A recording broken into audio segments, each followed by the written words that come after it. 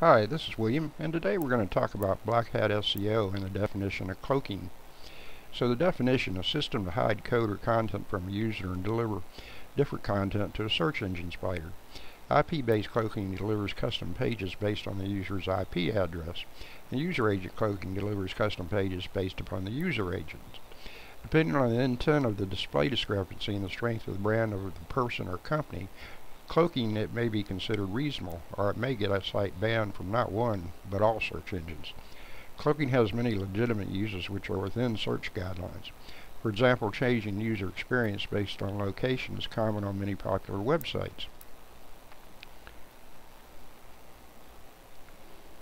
The technique is abused by spammers for keyword stuffing. Cloaking is a violation of terms of service in most search engines and could be grounds for banning. Search engine traffic is important to you, make sure you consider the following with respect to cloaking.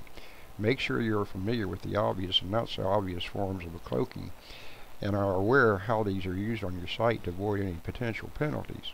If anyone remembers a few years ago, Google came in and banned the accounts of many top internet marketers for using these types of strategies. Most notably is Black Hat SEO and the get rich quick schemes.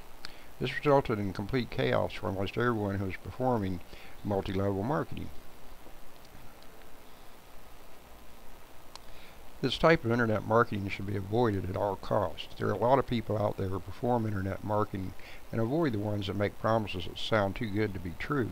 Internet marketing is not a get-rich scheme. It's a job like any other business, and it takes time and effort. You should need to take the time and effort to give back more to the people who follow you by telling them the truth. Don't quit your day job and do not believe any get-rich scheme you hear about. The truth is it takes time and effort and an honest approach to make money through internet marketing. Offer quality products and you will succeed. And that concludes the presentation and this is William. I'll see you the next time. In the meantime, take a look at my blog site, wbweeksjr.com.